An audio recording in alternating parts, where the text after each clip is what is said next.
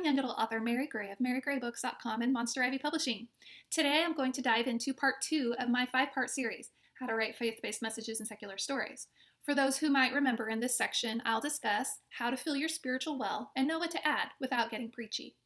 Some of the earliest philosophers, such as Aristotle and Socrates, believed that thought precedes action. In Aristotle's Nicomachean Ethics, for instance, Aristotle asserts that a person's positive or negative actions are typically preceded by an idea. I wouldn't jab my kid in the eye without thinking about it first. So it makes sense that if we increase the number of our positive thoughts, we'll be better citizens and friends, better parents, children, and siblings. We'd be thinking about serving one another or offering compliments instead of screaming in a fit of road rage. Filling one's spiritual well, though, isn't always a high priority. We have so many tangible issues to contend with how to supply our food, keep a roof over our heads, get to work, take care of our kids. Many of us, as well meaning as we are, feel we simply don't have the time. The Apostle Paul said to put on the whole armor of God.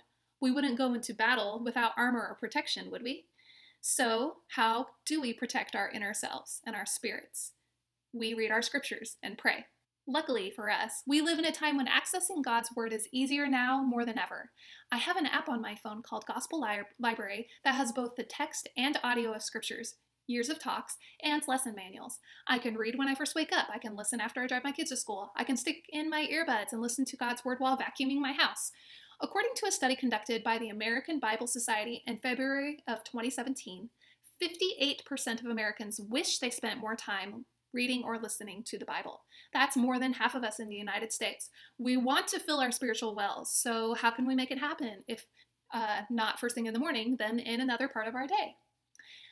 I would suggest one key strategy for increasing our number of positive thoughts to improve the way we treat our children, to lessen our road rage. We should set aside a regular time when we can read God's Word without any distractions, or in the very least, multitask something is better than nothing. To be honest, I haven't always had this goal. I was great as a teenager. I took part in my church's early morning seminary. I either studied on my own or I went to a class every morning at like 6 a.m. But somewhere along college and having little kids, I let my priorities slip.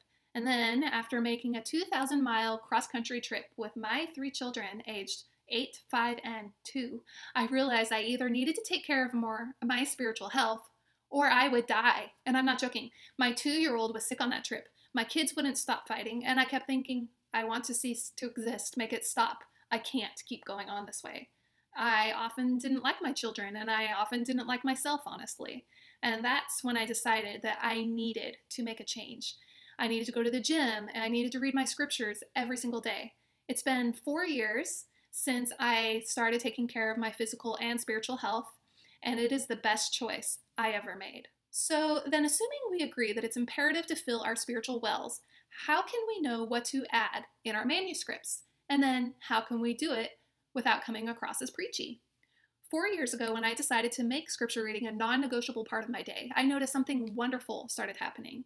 I'd read about God reshaping the world in the Second Coming, and I suddenly knew how to write about natural disasters and what concrete setting elements I should include, like rivers and valleys. When I read about Christ's Sermon on the Mount, I thought about all the stories about revenge out there, and I knew I had to write a story about turning the other cheek. That's the beautiful part. When you read God's Word before you sit down to write, your mind automatically fills in the blanks. Reading scriptures is ideal for discovering character arcs and themes. Adam and Eve learned about obedience. Daniel in the lion's den learned to be brave. Peter learned the anguish from denying Christ and then showed us what repentance looks like.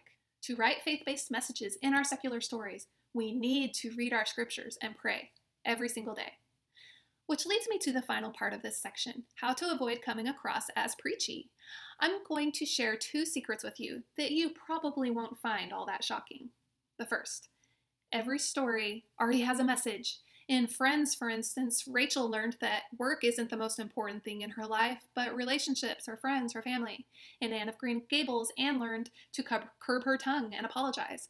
I'm sure the writers of those stories didn't go into them wanting to introduce Christian themes, but isn't the second great commandment to love your neighbor, like Rachel learned? And didn't Jesus teach us to turn the other cheek, like Anne learned, we don't have to explicitly say that a message comes from the New Testament or have a character discover their epiphany from speaking with a rabbi.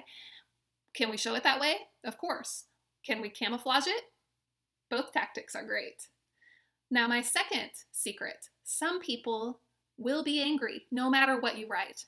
I'm going to tell you a little bit about my first novel. When I wrote it and released it, it made many people angry. It's about a, a girl who escapes psychological abuse in a dystopian like society. And when many bloggers read the book, they wanted a Buffy the Vampire Slayer. They wanted a girl who was strong and snarky.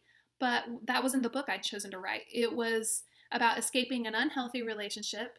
And I have since gotten the rights back from the book and look forward to re releasing it.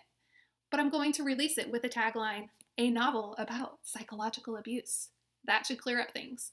Of course, when I read reviews of any of my favorite books, I find tons of negative reviews. The truth is, we all like different things, so I remind myself of this when I think about re releasing The Dollhouse Asylum. I have a healthy message that some people will enjoy and need.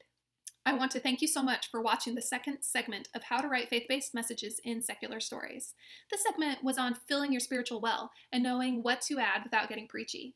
Next week, I'll discuss how to know where to add these precious gems of knowledge we gain from scripture reading via the sneaky art of subplotting. Thank you so much for watching. See you next week.